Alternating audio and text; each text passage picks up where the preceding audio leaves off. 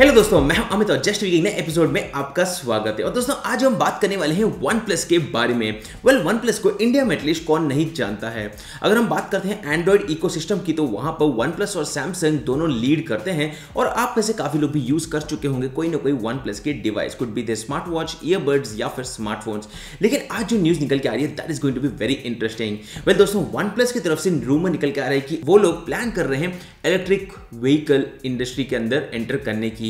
हालाँकि 2019 में one plus ने एक जोक की तरह मतलब उनकी जो सीईओ है, उन्होंने अनाउंस किया था कि वो लेके आ रहे हैं वाप कार जहाँ पर आपको फ्यूचरिस्टिक फीचर्स मिलेंगे, जैसे कि स्मार्टफ़ोन के बाद स्वाइप करते उसी तरह गाड़ी के अंदर स्वाइप करोगे, गाड़ी लेफ़्ट राइट हो जाएगी। वो तो कुछ ज़्यादा ही हो गया था but was again launch on first of April तो clearly that was a prank जो कंपनी ने इंट्रोड्यूस किया था। और uh, बाद में सब लोग भूल भी गए लेकिन अभी जो सुनने में आ रहा है कंपनी अनाउंस कर सकती है उनका एक नया सब ब्रांड जिसका नाम होगा OnePlus life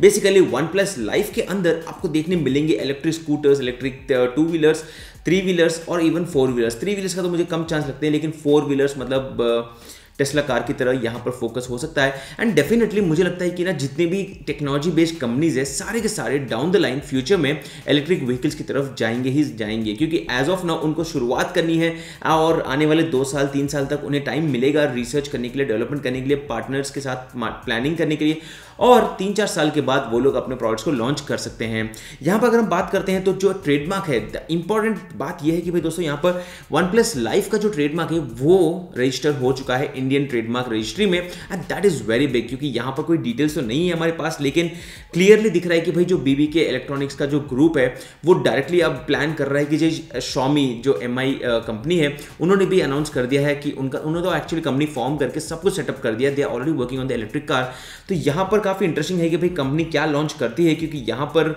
Uh, कोई डिटेल्स तो नहीं है but then overall I am excited क्योंकि यहाँ पर ना जो कन्वेंशनल कंपनीज़ है जैसे बजाज हो गया होंडा हो गया हीरो हो गया या फिर टीवीएस हो गया ये सब कंपनीज़ को ईजी होता है इलेक्ट्रिक व्हीकल्स की तरफ़ जाने में। लेकिन जब हम बात करते हैं रेगुलर टेक्नोलॉजी कंपनीज़ की तो उनके पास सॉफ्टवेयर में ज़बरदस्त कंट्रोल होता है लेकिन हार्डवेयर का zero zero knowledge but then अगर हम बात करते हैं इलेक्ट्रिक व्हीकल्स की तो यहाँ पर उन्हें सिर्फ़ कोई भी एक रेगुलर गाड़ी को निकालनी है इंजन के बदले में यहाँ पर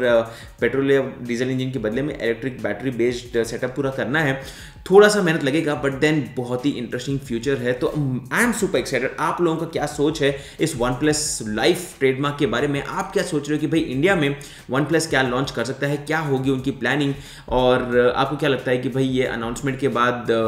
do you really think India के अंदर हमें आने वाले समय में कुछ ना कुछ देखने मिलेगा? या फिर end of the day we might be looking at just a two wheeler वो सेगवे टाइप की एक टू व्हीलर लॉन्च हो जाएगी और वो बोला जाएगा कि भाई ट्रेडमार्क तो उसी के लिए था। We are as of now not sure जो मीडिया रिपोर्ट्स में देख रहा हूँ, वहाँ पर तो मतलब वन प्लस कार के रूमर स्पेसिफिकेशन भी निकल के आ गए हैं। वो कुछ ज़्यादा ही हो गया but then as of now this is an update मुझे लगा आप लोगों के साथ शेयर करूँ। अगर आपको वीडियो यूजफुल लगा तो वीडियो को लाइक कर दीजिए और चैनल के साथ बने रहिए मेरे साथ और मैं आपको मिलता हूँ हमारे अगले वीडियो में। तब तक के लिए गुड बाय